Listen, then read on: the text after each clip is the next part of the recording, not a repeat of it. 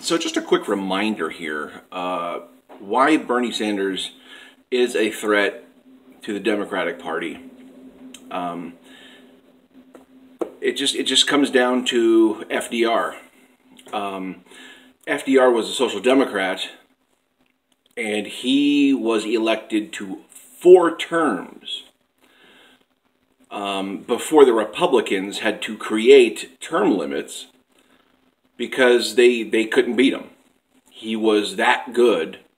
He was that crucial. He was that important that the Republicans invented term limits for presidents from that moment forward. After 16 years of FDR uh, being at the helm, and that insight right there needs to be applied today to today's Republicans and Democrats. They know if a Bernie Sanders was to take office, what it would mean for their parties.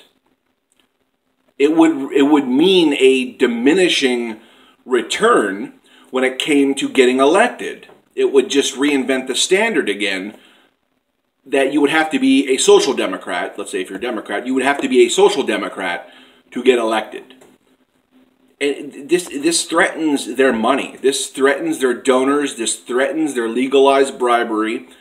Um, and this is why you see Democrats. I mean, obviously Republicans, but this is why you see Democrats doing it too, because they're in the same corrupt money pool as the Republicans. They share donors and they know that someone like Bernie, who wants to get money out of politics, is a threat to their corrupt money.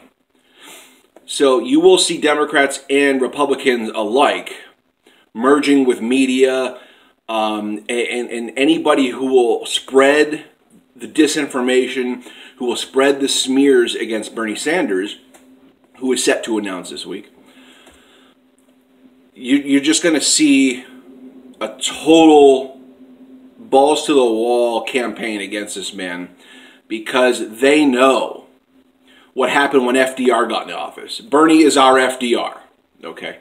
They know that FDR served 16 years in office because he was so popular.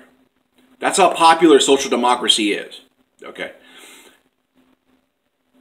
And, and that's what, just look for it now. Just look for that to happen. Look for the smears to get really vicious, really outlandish.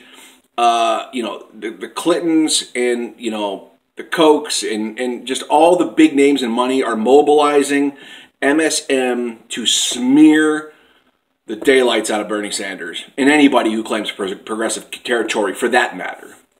So be on the watch. And I just wanted to remind you about that FDR thing because, you know, a lot of people know it, but it's always good to get a little reminder in there of why the establishment does not want a social democrat to come to power in America.